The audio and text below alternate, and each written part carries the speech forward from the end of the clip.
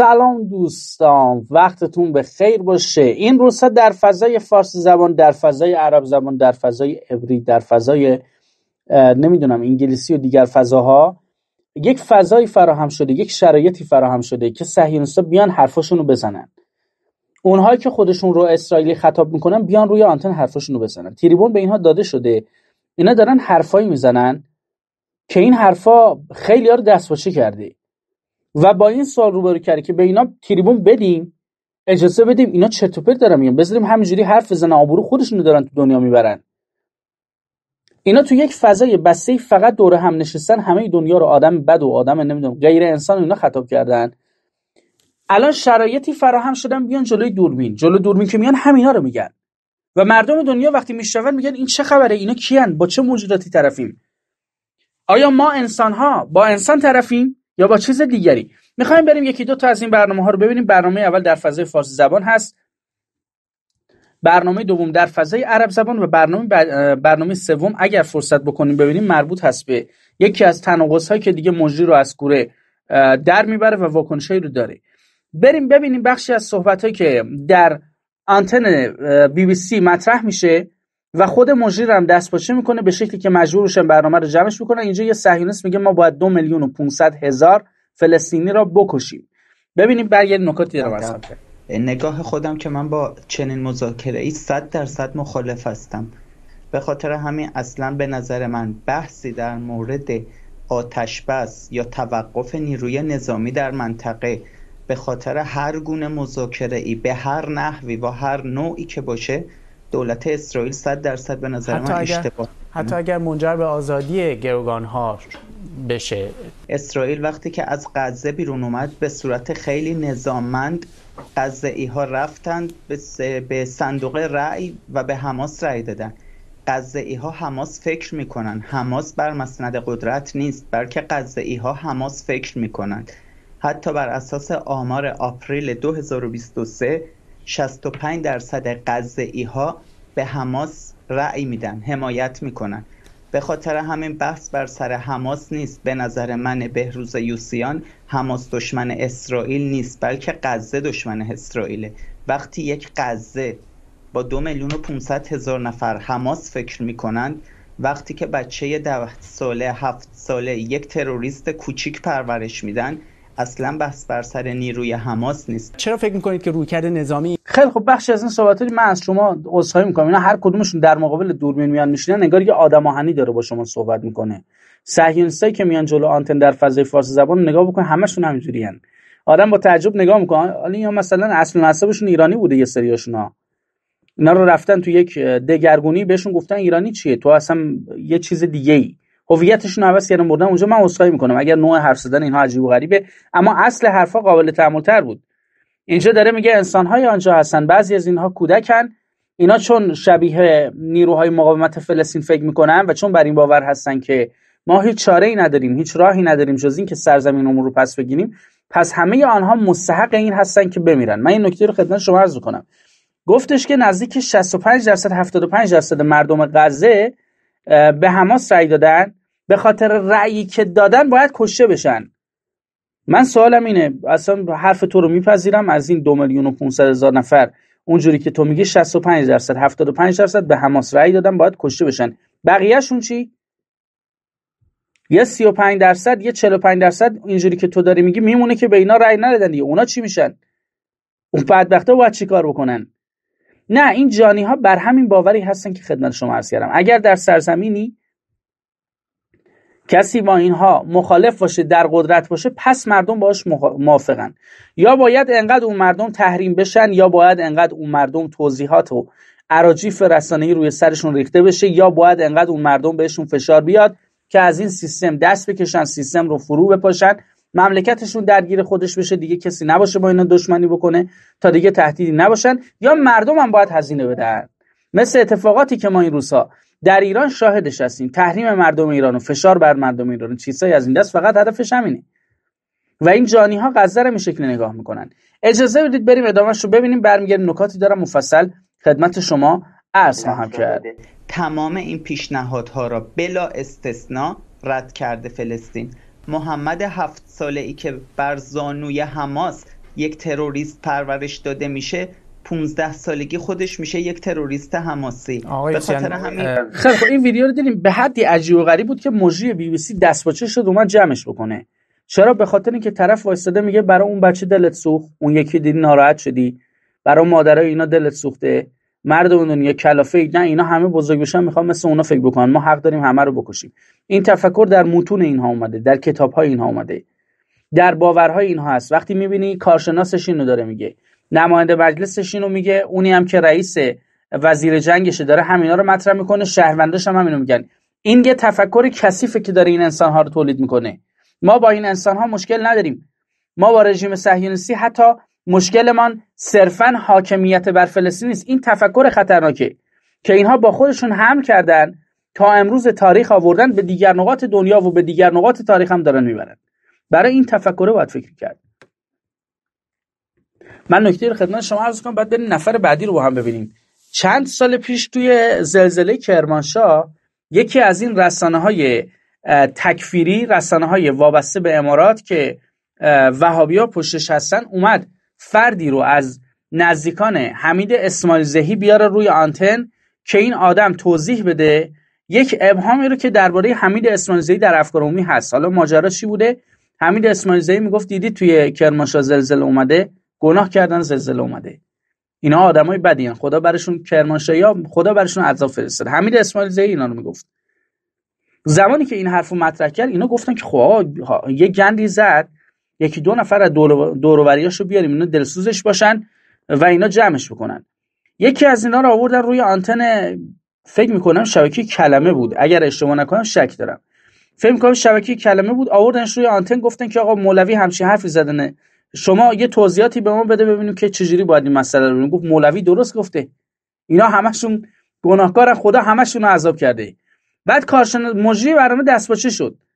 مجری برنامه فکر می‌کردی الان میاد یه ماله رو این داستان می‌کشه. دید نه این داره همون داستان میره و مردم رو بهشون توهین می‌کنه تحقیر می‌کنه عصبی می‌کنه. سریع از رو آنتن آوردش پایین. چرا این چرت و پرت اونجا مطرح می‌کرد؟ چون اینا توی فضای بسته دور هم نشستن.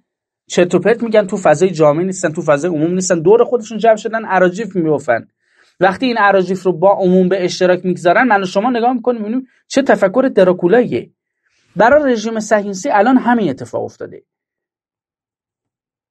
دنیا فرصت پیدا کرده بشین پای صحبت اینا تازه دارن می‌فهمن چه در دیوونایی بریم ببینیم ادامهش رو برمیگردیم. نکاتی دارم عرض خواهم کرد نکاتم رو. اینجا توی تلویزیون رژیم صهیونیستی کانال 14 ببینید نکات رو מטרה. פה על השולחן אין ימין ואין שמאל, יש דבר אחד, נראותה של המדינה וחוסנה של המדינה.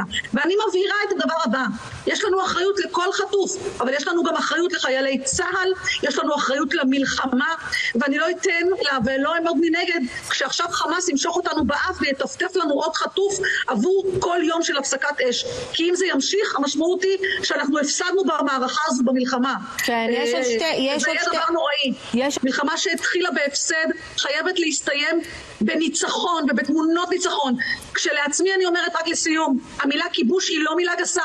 אני בעד לומר בפה מלא, לכבוש את צפון הרצועה, ליישב את צפון הרצועה, כי האויב האכזרי שלי, שהוא בן מוות ונולד בשביל למות על פי האתוס שלו, מבין רק פגיעה באדמה. שם צריך כן. לפגוע, שם צריך. חומה ומגדל, כמו בקום המדינה. מאוד פשוט. خیلی خب بخش از این صحبت من از شما پوزش میطلبم به خاطر اینکه مجبور شدین لحظاتی رو پای صحبت خوناشام ها بنشینید ولی به هر جهت ما مجبور هستیم برنامه رو ادامه بدیم. از اون متن برای شما می‌خونم. میگه روی میز چپ و راستی وجود ندارد و فقط یک ام پیش روی ماست و هم مسئولیت کشور است.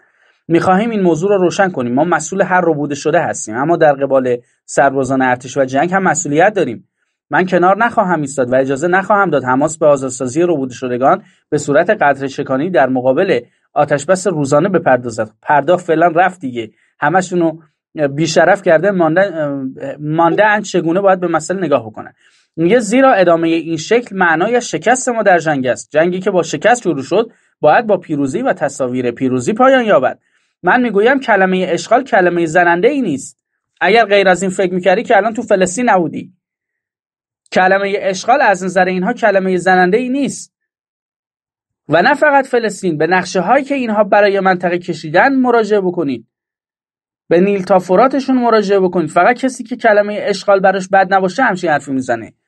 و کلمه اشغال زمانی برای اینها بد میشه که یک نفری پیدا بشه الان بیاد بگه آقا شما صاحب این خونه ای بفرمون بیرون این بیاد من صاحبشم این بلا هنوز سر اینها نیومده هر کدوم از ما یه ثانیه این رو تصور بکنیم یه ثانیه این رو تجسم بکنیم. و همین الان که داری این برنامه رو می‌بینی یکی الان در می‌زنه تق تق تق آقا بفرمون بیرون خونه.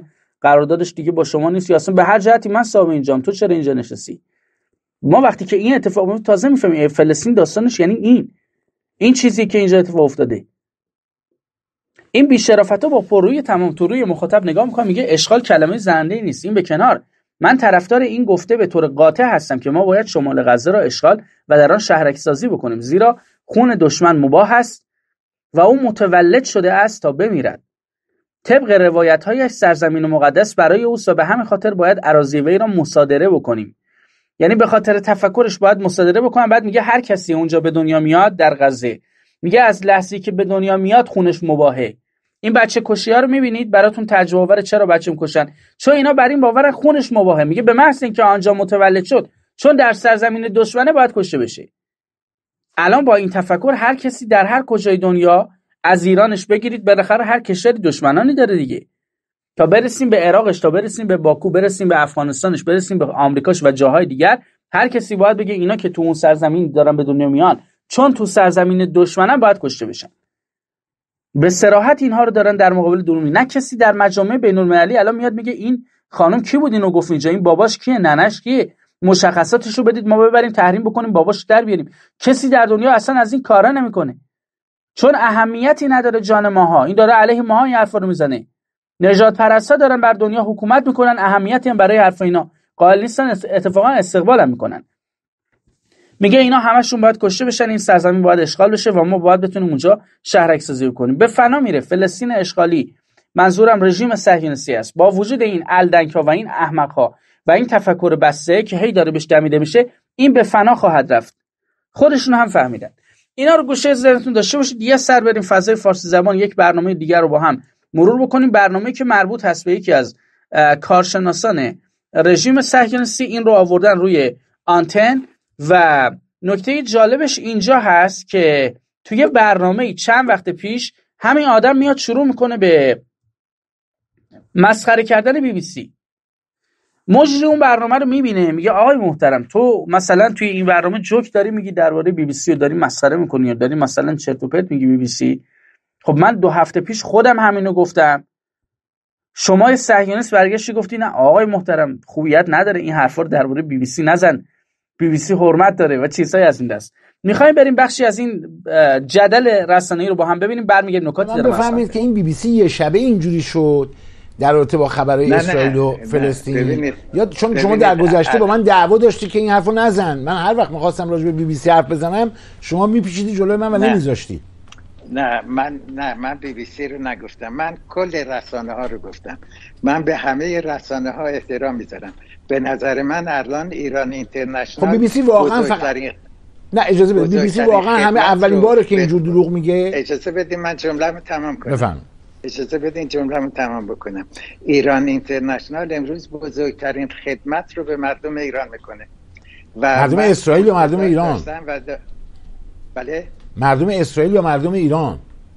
نه مردم اسرائیل نیست. مردم ایران به خاطر اینکه حقیقت رو منعکس می‌کنه. و اگر شما اعتراض داشتین که چرا یک آقا آقا حقیقت که میترش دست من و شما نیست که. تمام بکنم. داشتن یک تیمی در اسرائیل و از اینجا خبر دادن نشان حمایت از اسرائیل نیست. نشان کار حرفه‌ای افرادی است که می‌خواهند واقعیات اشکال کار آقای ایران نشون اشکال کار اشکال کار اینجاست که وقتی بی بی سی در مورد اسرائیل همچین موضع می‌گیره شما واکنش نشون می‌دید. ولی این بی بی سی قبلش دروغ گفت بعدش دروغ گفت.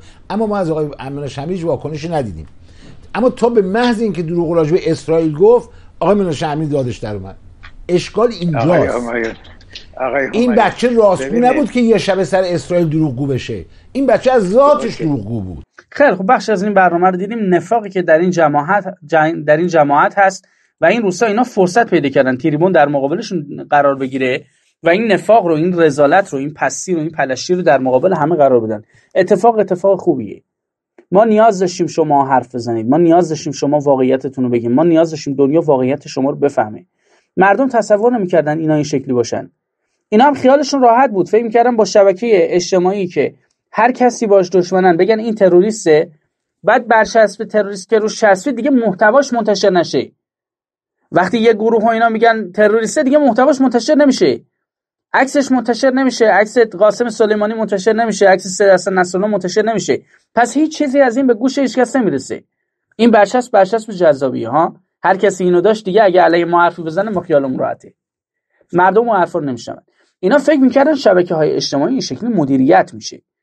به خودشون اومدن دیدن در دنیا مردم یه جور دیگه می‌فهمن مردم علیه اینا خشمگینن مردم علیه اینا عصبانیان فرصت پیدا کردن بیان تو رسانه از خودشون دفاع بکنن. حالا چیزهایی دارن مطرح می‌کنه که اینها دقیقا حقیقت رژیم صهیونیستیه.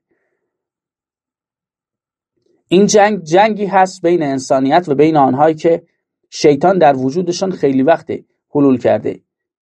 بین کسانی که ذاتشون همینه که روی آنتن دیدید. کدوم یکی از کسانی که الان می‌شناسید به عنوان آدم بدای دنیای ما کدومشون جرأت دارن در مقابل دوربین اینا رو بگن؟ فقط صهیونیستا جرأت دارن بگن. چرا؟ چون عرض کردم خدمتشون توی یه فضای بسته بوده توی این فضای بسته هر چیزی خواستن دور هم گفتن حالا اومدن در مقابل دنیا میگن ماها میشنویم متعجب میشه اون نمی‌فهمیم بده انقدر گفتن تو جمع خودشون خودشون تایید کردن بد بودنش رو هنوز متوجه نمیشه. طولانی‌ترش می‌کنم. اگر نکته بود بحثی بود در قالب پیام برام بفرستین کمک بکنید که گزارش با پیام های ارزشمند شما کاملتر بشه. خاک پای همه رفقا هستم. خیلی مخلصم. خیلی ارادت دارم. وقتتون بخیر.